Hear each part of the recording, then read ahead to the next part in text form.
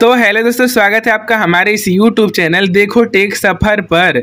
दोस्तों, आज के इस वीडियो में हम आपसे बात करेंगे ना कि एयरटेल पेमेंट बैंक में हम किस तरह से अपना बैंक ऐड करते हैं, क्या तरीका होता है, हम इसी के बारे में आपको सारी कुछ जानकारी देने वाले हैं।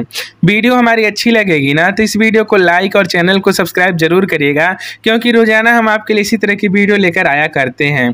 तो चलिए दोस्तों, आगे बढ़ चलते हैं और आपको सारी कुछ बातें बताते हैं, कैसे कैसे, क्या करना है।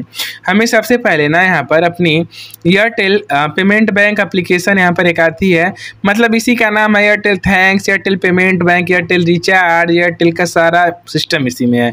आप जैसे यहाँ पर सर्च करेंगे एयरटेल पेमेंट बैंक यही एप्लीकेशन है जिसमें आई राउंडर एप्लीकेशन है, देख सकते हैं। एयरटेल थैंक्स रिचार्ज और यू सारा कुछ इसमें है।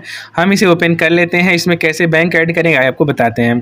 लॉगिन करना इसमें आसान है, आप अपना मोबाइल नंबर डाल देंगे तो लॉगिन आसानी से हो जाएगा, ठीक है? यहाँ से कट कर लेते हैं।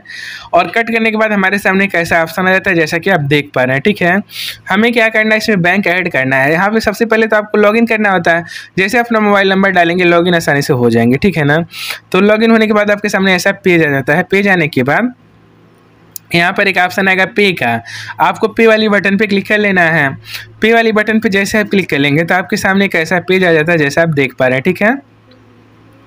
पूरा यहाँ पे। सारा डिटेल्स है, सारा कुछ है, ठीक है? किनारे पर यहाँ पर एक गोल सा आपका प्रोफ़ाइल दिखेगा। आपको प्रोफ़ाइल पे क्लिक करना है। आपका नाम मोबाइल नंबर आ जाएगा। और बहुत सारी यहाँ पर बातें आ जाएँगी। ठीक है, आपको क्या करना है, आइए बताते हैं। यहाँ पर एक ऑप्शन है बैंक प्रोफ़ाइल का यदि हम इस पर क्लिक करें। तो एयरटेल पेमेंट बैंक का यहाँ पे पूरा डिटेल्स आ जाता है, जैसे आप देख पा रहे हैं, ठीक है ना?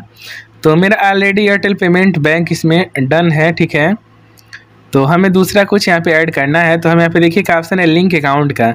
हम लिंक अकाउंट पे यदि क्लिक करें, ठीक है? तो यहाँ पर इस तरह से ऑप्शन आ जाता है। यहाँ पर एक ऑप्शन है लिंक बैंक अकाउंट हम इस पर क्लिक करेंगे अलाउ कर देंगे। और यहाँ पर देखिए, आप पहले तो अपना एयरटेल पेमेंट बैंक यदि बनाए होंगे तो वही बैंक यहाँ से इसमें भेज के देखिए लिंक हो जाएगा, ठीक है? और देखिए, हमारा मतलब इस तरह से हो गया। अब आपका किस बैंक में खाता है, वह बैंक चूज़ कर लिया। जैसे हमारा जो खाता है, वह यूको बैंक में है। तो हम ऐसे यूको ले लिया, यूको बैंक ले लिया, क्लिक कर लिया। अब हमारे सामने इस तरह से यहाँ पे देखिए, मेरा सक्सेसफुल ऐड हो गया और गो टू होम पे क्लिक कर देंगे तो हमारा बैंक ऐड मिलेगा। तो आपको बताना चाहूँगा, यदि आप पहली बार जैसे गूगल पे फ़ोन पे बना रहे चला रहे होंगे और उसके बाद इसमें खाता ऐड करेंगे तो बिना कुछ मांगे आपसे आपका यहाँ पर ऐड हो जाएगा। यदि आप पहली बार ऐड कर रहे होंगे तो आपको कुछ एटीएम का अपना डिटेल्स देना होता है। जैसे एटीएम कार्ड का लास्ट का छः अंक देना होता है एटीएम का पिन देना होता है सी देना होता है और एक्सपायरी डेट एक्सपायरी मंथ और ईयर देना होता है।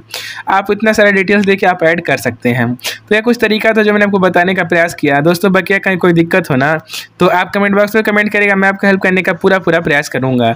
मिलते हैं किसी नए वीडियो में नए अपडेट के साथ। तब तक के लिए आप लोग अपना ख्याल रखिएगा। बाय बाय दोस्तों।